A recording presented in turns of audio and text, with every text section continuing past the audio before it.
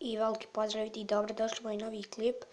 Kao što vidite, e, danas nećemo ništa igrati. Kao što ste vidjeli po nasu, danas ću vam pokazati kako da skinete Minecraft Pocket Edition.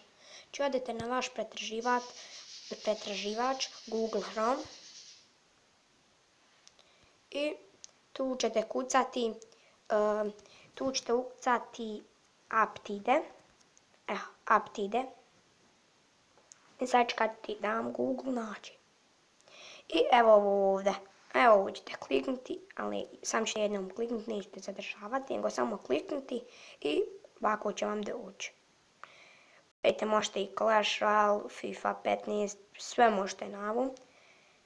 Ovdje se ne plaća igrice, samo prisnete Install Aptide. Samo kliknite na Install Aptide. Eto. Kada ste to instalirali, kada vam se Aptide instalira, Evo, meni se već instaliralo, uđete u njega. Znači, samo uđete u njega. Evo, i gore kucate ovako, Minecraft, Minecraft. Samo ukucate Minecraft, to jest Minecraft. I evo vam ovaj prvi. Njega instalirate. A ako hoćete modove da ubacivate, skinete ovo, Master for Minecraft PE skinete to ako želite modove. Ja ne želim, meni ne trebaju modovi, a ovo ako želite multiplayer, možete i ovo skinuti. Prije sam igrao na multiplayeru. I eto, to je to ljudi. E, Minecraft radi, evo sad ćete vidjeti. Či smo 6 subscribera, ne znam zašto, ali nema veze.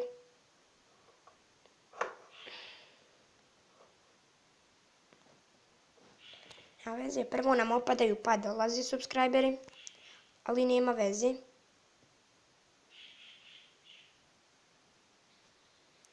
Evo, play, evo ja imam tu jedan svoj svijet. Sad ću vam pokazat. Ovo je aj buraz igramo. Znači promijenio sam ime kanala Anes Games JT, ako već niste. Ako niste već vidjeli. I da, evo moj svijet. Napolju mrak, kiša. Ajde. Eto, to bi bilo to za ovaj klip. Ako vam se klip svidao, lajkujte ga, šerujte, preplatite se na moj kanal i čao!